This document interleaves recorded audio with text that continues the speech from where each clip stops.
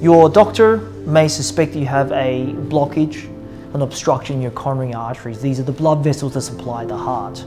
A CT coronary angiogram is a non-invasive CT-based study that will look at your heart arteries.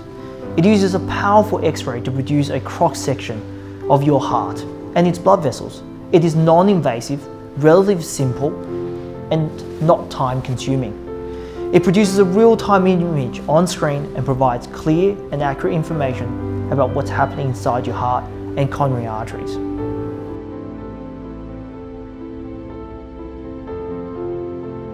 We use CT coronary angiogram to check for various heart conditions, diagnose the cause of chest pain, and investigate for other symptoms.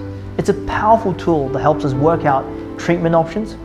We can also use a CT coronary angiogram to help us accurately perform other procedures like angioplasty, CT, stenting, and surgery.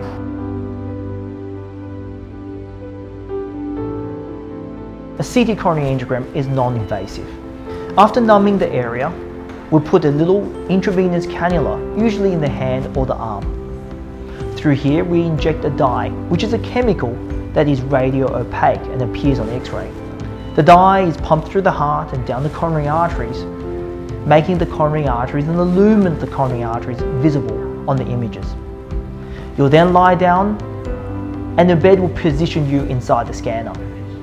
You may be also given some other medications, particularly beta blockers, that aid in the slowing down of your heart rate to optimize the imaging that we can obtain from your coronary arteries.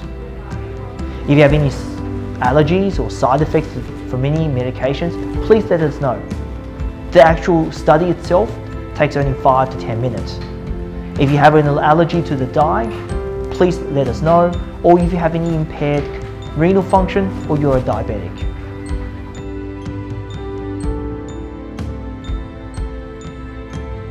If you've been given the dye, or you've been given the information sheet detailing the risks and benefits, during the injection, you may notice a brief warm sensation with a taste or smell of medicine, which passes quickly.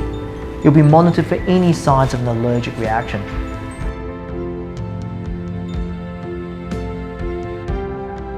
Procedure usually takes one hour. This includes proper preparation and follow-up monitoring. The scan itself is quick and only takes a few minutes.